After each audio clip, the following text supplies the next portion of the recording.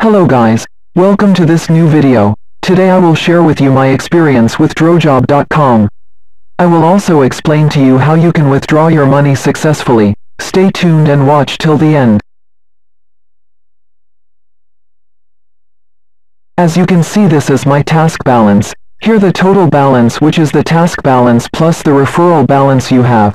I will also show you the current rate of all the tasks. My first time with Drojob I had some doubts.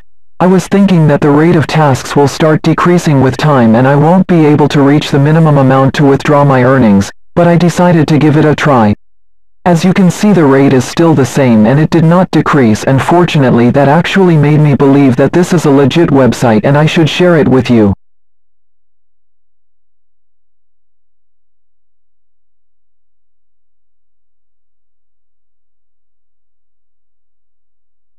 Now I will explain to you how does the withdrawal system work. It's simple. Once you reach $100 in the task balance you can withdraw your funds.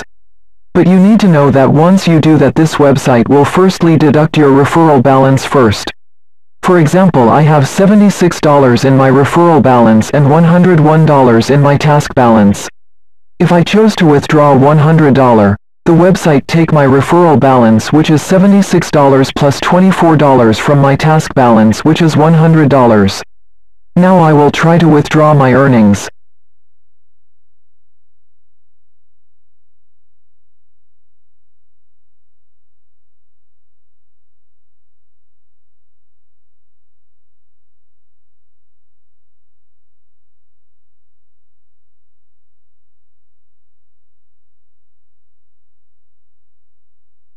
As you can see now I have zero referral balance but I still have $77 in my task balance. I will stop the video until I receive my money and share it with you.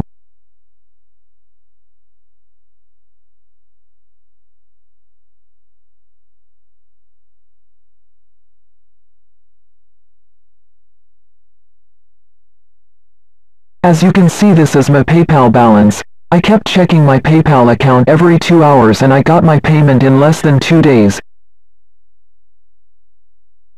Now I will show you the payment that I received from this website. I hope you enjoyed my video. Please support me with likes and subscribe. If you like the video leave a comment.